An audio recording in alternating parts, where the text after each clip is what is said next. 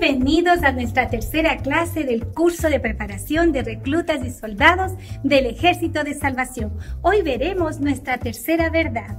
La tercera doctrina dice de la siguiente manera, creemos que la deidad se constituye de tres personas, el Padre, el Hijo y el Espíritu Santo, indivisas en esencia e iguales en poder y gloria. Bienvenidos. ¿Cuántos dioses existen?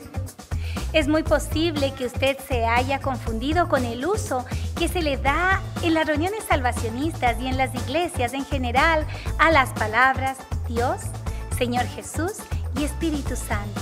Muchas veces quien predica parece hablar de Dios y de nuestro Señor Jesucristo sin hacer distinción, aunque estamos al tanto de que nuestro Señor es Hijo de Dios, no estamos muy seguros de comprender bien la relación que existe entre ellos.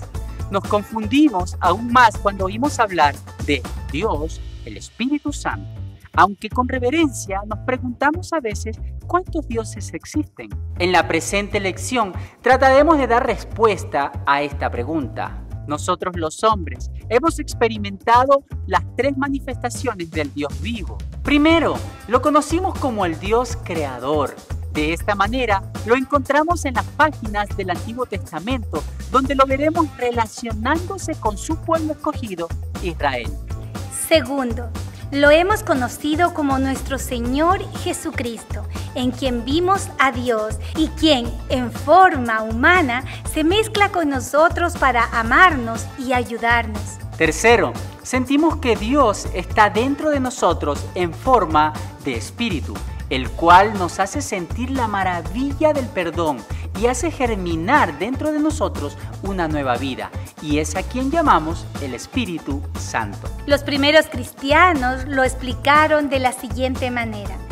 Creemos que la deidad se constituye de tres personas, el Padre, el Hijo y el Espíritu Santo, indivisas en esencia e iguales en poder y gloria. Deidad es el nombre que se le da al Dios de una religión, ya sea el Dios verdadero, Jehová, o Dios creador del cielo y de la tierra, o a un Dios pagano. En la presente doctrina se refiere a nuestro Dios. Esto significa que para nosotros los cristianos, Dios, Jesús y el Espíritu Santo son el mismo Dios. Cuando leemos en las páginas del Antiguo Testamento que Dios partió las aguas del Mar Rojo para salvar a los israelitas del ataque de los egipcios, estamos leyendo sobre una hazaña de Dios, nuestro Creador. Cuando oímos a Jesús decir en el Nuevo Testamento, venid a mí todos los que estáis cansados y cargados, que yo les daré descanso, escuchamos a este mismo Dios que en un cuerpo humano y con una voz humana nos invita a una mejor vida. Cuando nuestro corazón se inunda de paz y amor y sentimos la seguridad de haber sido perdonados, es aún el mismo Dios que en la forma del Espíritu Santo obra dentro de nuestro corazón. Son indivisas en esencia. Las tres personas de la Trinidad no se pueden separar ni dividir. Es incorrecto pensar que hay tres dioses. Las tres personas son el mismo Dios. Aunque con reservaciones podríamos decir que las tres personas son diferentes manifestaciones de Dios. Dios, Jesús y el Espíritu Santo no están subordinados el uno al otro y decimos que son iguales en poder y gloria. Por lo tanto, es correcto hablar de Dios el Padre, Dios el Hijo y Dios el Espíritu Santo. Para comprender mejor la verdad de la Trinidad, observemos lo que sucede cuando un humilde cristiano se arrodilla a orar. La intención de este hermano es ponerse en contacto con Dios ¿Quién lo movió a acercarse a Dios? El mismo Dios, quien alojado dentro de él en forma de espíritu, le muestra que somos hijos de Dios y que podemos ir a nuestro Padre, escrito en Romanos 8:16. Además, el hermano comprende que todo lo que él conoce sobre Dios le fue enseñado por Jesucristo, el hombre que fue Dios, y que en estos momentos le está ayudando a orar y está intercediendo por él según Hebreos 7, 24 y 25. ¿Se da cuenta lo que sucede? Dios es la persona a quien este hombre está orando. Dios es la intención que lo mueve a orar. Y Dios es el puente que se extiende desde Él hacia Dios. Es un misterio. Dios es infinitamente más grande que nosotros y forzosamente encontraremos aspectos de su persona que nuestras mentes finitas no podrán jamás llegar a comprender. Un Dios que pudiéramos entender a cabalidad sería un Dios muy pequeño. En la vida del cristiano hay lugar para el misterio, para aquello que no podemos llegar a entender, pero ante lo cual debemos y necesitamos arrodillarnos y exclamar como David en el Salmo 139, 6, 14, 17. Tu conocimiento me es demasiado maravilloso para mí. Alto es, no lo puedo comprender. Te alabaré porque formidables son tus obras. Estoy maravillado y mi alma lo sabe muy bien. Cuán preciosos me son, oh Dios, tus pensamientos. El misterio de la fe, así es como lo llamó el apóstol Pablo en 1 de Timoteo 3:9. Aprenda a vivir frente al misterio.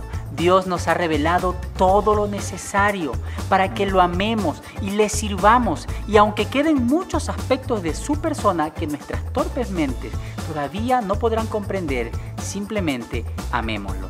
No podemos comprender a cabalidad la grandeza, la altura y la profundidad del amor de Dios que sobrepasa todo entendimiento con nuestras mentes finitas. Cuidémonos de aquellos que parecen saberlo todo o todos los secretos sobre la eternidad y tienen una respuesta para todo. Una vez le preguntaron a nuestro Señor, ¿cuándo se acabará el mundo? Su respuesta fue, no sé, escrito en Mateo 24, 36. En los caminos de Dios usted siempre encontrará dos cosas que son inseparables, la experiencia y la doctrina. Ambas deben ir tomadas de la mano para que haya crecimiento en nosotros. Tenemos una experiencia cuando Dios entra en nosotros y nos habla y nos toca. Notamos que algo ha cambiado dentro de nosotros y nos llenamos de gozo y entusiasmo. No lo sabemos explicar, pero sí sabemos que algo ha sucedido dentro de nuestro ser. Esta fue la experiencia de los primeros cristianos respecto a las verdades de la doctrina. Estas le fueron reveladas primero como una experiencia. ¿Qué es una experiencia? Veámoslo. Los primeros cristianos eran en su mayoría judíos y por lo tanto creyentes firmes en un solo Dios. Pero cuando estos hombres se encontraron con Jesús, reconocieron que en Él había algo más grande que un profeta o un gran maestro. Lo vieron levantar la mano y con un gesto calmar la tempestad. Lo oyeron decir, sé limpio y despedir la lepra. Después de su muerte y resurrección, comenzaron a sentir un poder dentro de ellos que nunca antes habían sentido. Lo llamaron el Espíritu Santo, porque les hacía sentir la presencia del Creador y les recordaba lo que Jesús les había enseñado. Eran creyentes en un solo Dios, pero habían experimentado a Dios en tres maneras. La experiencia necesita ser enseñada. Estas eran las experiencias que ellos habían vivido. Ellos habían experimentado a Dios en tres maneras, pero no lo sabían explicar. Tener una experiencia con Dios es muy importante, pero también es necesario que se aprenda a entender lo que Dios ha hecho en nosotros. La Biblia enseña que debemos aprender a ser nutridos con las palabras de la fe y de la buena doctrina para saber desechar las fábulas profanas, es decir, las falsas doctrinas, según lo dice 1 de Timoteo 4, 6 y 7. Por eso usted está estudiando la Biblia a través de estas lecciones. Los primeros cristianos debieron trabajar mucho antes de formular la doctrina de la Trinidad, en la forma en que ahora lo conocemos. Mucha oración, mucho ayuno, mucho estudio les costó y tenían necesidad de aclarar esta enseñanza, ya que había desacuerdo entre ellos al tratar de explicar que habían experimentado. Todos tenían la misma experiencia, pero no todos la entendían igual y por lo tanto comenzaron a levantarse enseñanzas falsas. Una de las principales fue el arianismo, que afirmaba que solo Dios el Padre era Dios y que Jesús y el Espíritu Santo habían sido creados de la nada. Hoy en día, el arianismo está representado entre nosotros por los testigos de Jehová. Los primeros cristianos se reunieron y formularon esta doctrina para terminar con la controversia. Es muy importante que después de nuestras experiencias con Dios recibamos la doctrina. Hoy en día la situación es más fácil para nosotros porque la Iglesia ha formulado las doctrinas que explican y dan sentido a nuestra experiencia con Dios. Por lo tanto, solo debemos estudiarlas y conocerlas. Esto se logra estudiando nuestra Biblia, asistiendo a la iglesia y participando en cuanto estudio bíblico o seminario ofrezca el ejército de salvación, ya sea local o a nivel divisional. Para crecer hay que estudiar la palabra. Resumamos entonces la tercera verdad. Nosotros los cristianos hemos experimentado tres manifestaciones del Dios vivo. Ellas son Dios el Padre, Dios el Hijo y el Espíritu Santo. Ellas no se pueden dividir. Las tres son un mismo Dios. Es incorrecto hablar de tres dioses. Las tres tienen el mismo poder. Ninguna de ellas está subordinada a las otras. El misterio de la Trinidad muestra la grandeza de Dios y la pequeñez de nuestra mente. A continuación, tendremos algunas preguntas para dialogar en los grupos pequeños. Le invitamos a ser honesto y sincero con la respuesta. Que Dios les bendiga.